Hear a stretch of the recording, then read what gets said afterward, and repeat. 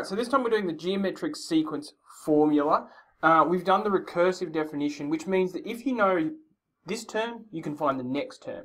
So in this example, as long as I know the fourth term, I can find the fifth term. As long as I know the fifth term, I can find the sixth term. That's going to be 32. Now, the common ratio here is 2. And the recursive definition is fine, but if I want to find out what, say, term uh, 20 is, I don't want to have to find term 1, 2, 3, 4, 5, all the way up to 19 and then find term 20. It'd be great if I could just get to term 20 immediately. Um, now, the way to do it is to realize that uh, the ratio, so if I want to get from 1 to 2, I'm multiplying by 2. If I want to get from 1 to 4, I'm multiplying by 2, and then I'm multiplying by 2 again, which is the same as multiplying by 4. If I want to get to the next one, I'm multiplying by 2 again, which is the same as multiplying by 8.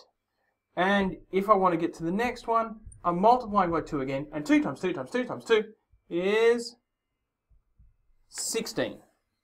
More generally, if I've got term 1 followed by term 2 followed by term 3 followed by term 4 followed by term 5, and it's a geometric sequence, to get from term 1 to term 2, I multiply by r.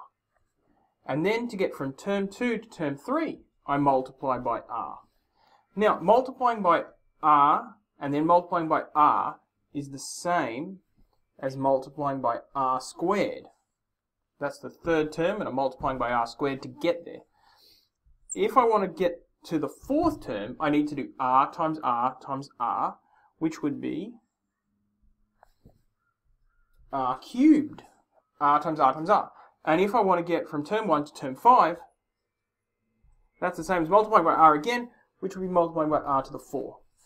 So this brings us to our formula. If I want to get, and this is the important formula, if I want to get to term n, all I need to do is uh, take my first term, term 1, You usually call term 1 a, and then multiply it by r to the power of, if I want to get to term 5, I need to multiply it by r to the power of 4.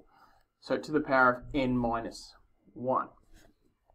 So now that I have a really nice, neat formula and I know how to get there, uh, if I've got this one here, then if I want to know what term 20 is, I take the a value, which is the first term, which is 1, and I multiply it by r, the common ratio, which is 2 in this case, to the power of n minus 1, which is 19.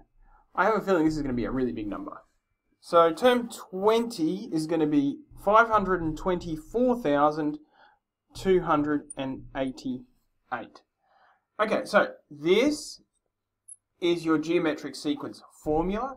This is why it works. We're raising our ratio to a power to get there eventually.